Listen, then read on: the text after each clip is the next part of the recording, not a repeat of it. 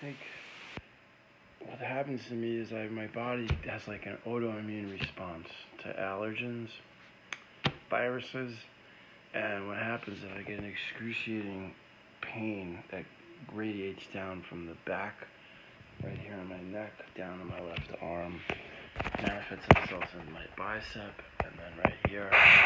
Um, I get this numbness in my hand.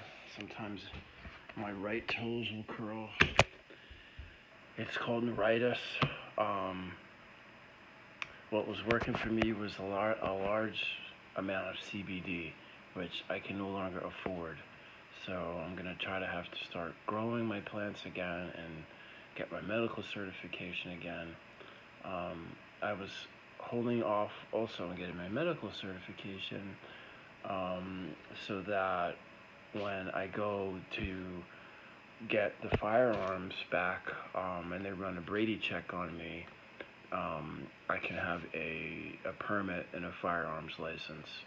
Um, so, all things considered, um, my little friend um, has decided that she likes to come and live here sometimes, so she just hangs out and listens to me.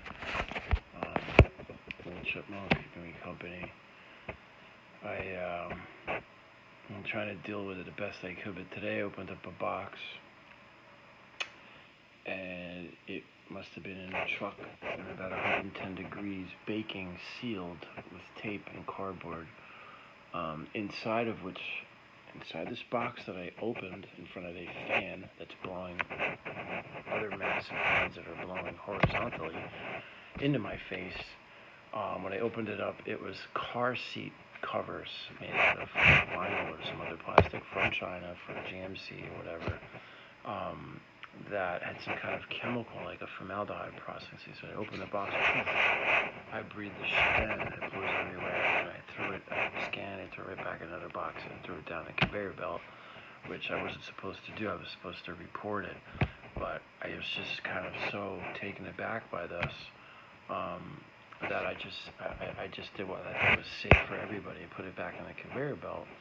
Um, and um, I thought that maybe they'd be able to track it or something. So um, they said no. So unfortunately, we can't do anything. So then they had this Juneteenth celebration, which unfortunately I wasn't able to stick around and watch the dancing, which I really wanted to watch. So I didn't feel good. Um, pain, it's. It actually starts to feel like a, a itchy, squirmy kind of feeling inside my um, inside my arm. Um, this is one of the most uh, uncomfortable things having to deal with. It's like uh, whenever I, I, I, I come into contact with some kind of allergen, my, my, uh, my body, the nerves, um, get irritated. Uh, it's, a, condition that um, has caused me a lot of extra stress. Um, yeah, so the Juneteenth celebration it consisted of you know one hamburger with one chips, a water, and some high C powder. I said, "Can I have a hot one too?" They said, "No, it's either or."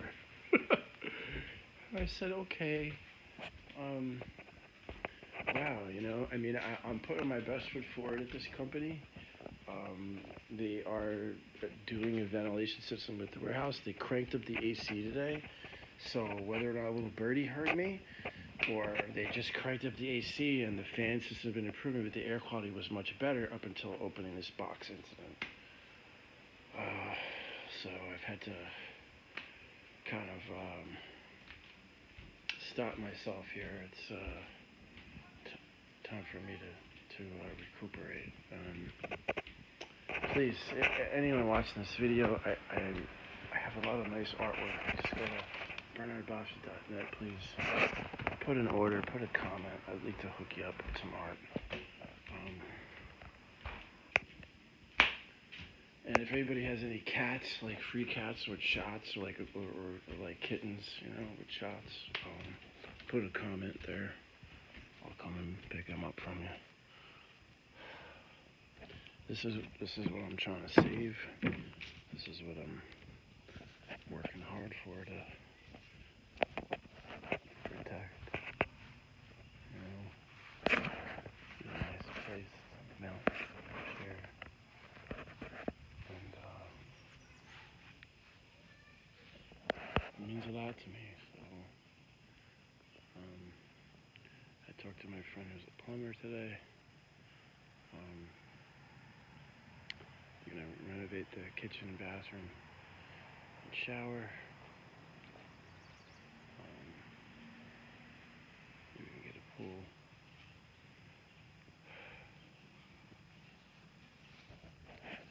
I still can't believe it. My mom and dad are in here, and, and that my brother is not talking to me. It's very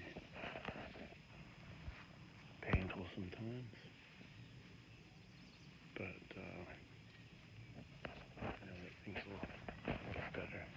I feel relieved that I was able to save this. Like the last couple of years, all the stress of having to go to the court and basically be humiliated, disrespected, violated. Um, the needs a lot of work.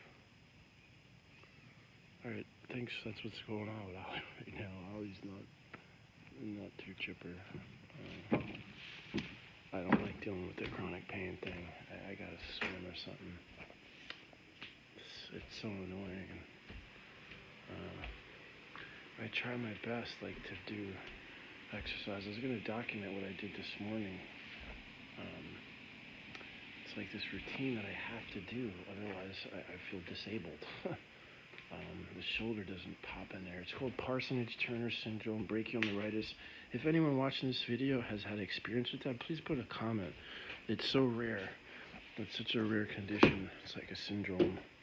Um, I feel like mine has gotten better, but as it gets better, it goes better in stages. There's different stages and progressions where I feel like it's gotten better, but as it, I guess maybe as the nerve grows back, um, with that comes its own pain, its own strange kind of discomfort.